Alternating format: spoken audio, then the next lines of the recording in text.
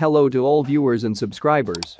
If you are not subscribed to our channel, then please subscribe and do not forget to like or dislike this video, this will help in promoting the channel. Thank you. Blake Richardson has recently admitted lying to people about his relation with Beatles legend Paul McCartney.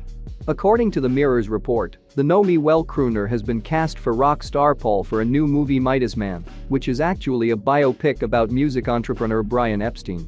He worked for five years with the Beatles as a manager before his demise.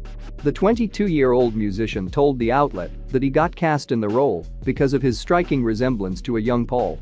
Blake, who is also a member of the New Hope Club rock band, revealed that he would sometimes take advantage of this likeness and even con people, saying he is Paul's grandson, especially when he traveled to different countries.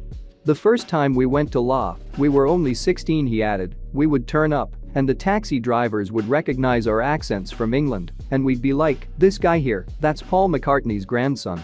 He continued, they'd love it and then often tell us how they drove the Beatles.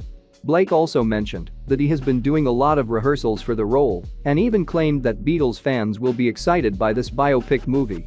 Meanwhile, the singer-actor has never met Paul in real life however, he thinks that the rock legend would be proud to see someone playing him in a movie.